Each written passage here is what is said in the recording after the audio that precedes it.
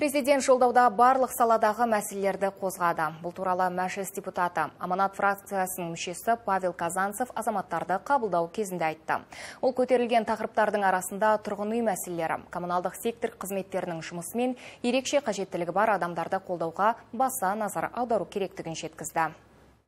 Қабылдауға келгендердің бірі Алтын Алпыспаева астаналық келіншек бірінші топтағы мүгедек. Екі баласы да ерекше күтімді қажет етеді. Арманы баспаналы болу. Үй кезегінде 2011 жылдан бері тұр. Үлкен қалада пәтер жалдап тұру қиын дейді. У меня двое детей тоже инвалиды.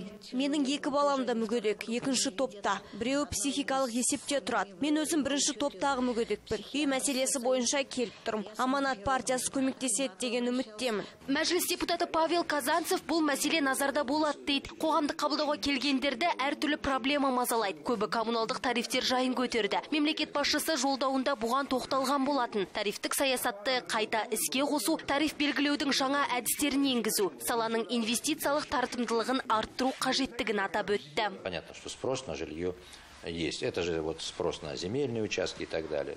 Тұрғын үй мәселесі маңызды. Тұрғын үйге сұраныс жоғары екені түсінікті. Сондай ақ халықты көбінесе су жылу газ мәселелері толғандырады. Президент жолдауда энергетика саласына қатаң тәртіп орнату керектігін баса айтты. Оны шешу жолдарын қарастырды. Тіпті атом электр станциясын салу керек па жоқ па деген сауал жалпыұлттық референдум арқылы қабылданады деді. Жолдауда қазақстандықтарды толғандыратын барлық өзекті мәселелер қозғалды дейді депутат. Энергетика, су, жол, тариф мәселелері шешім табатынына сенімді.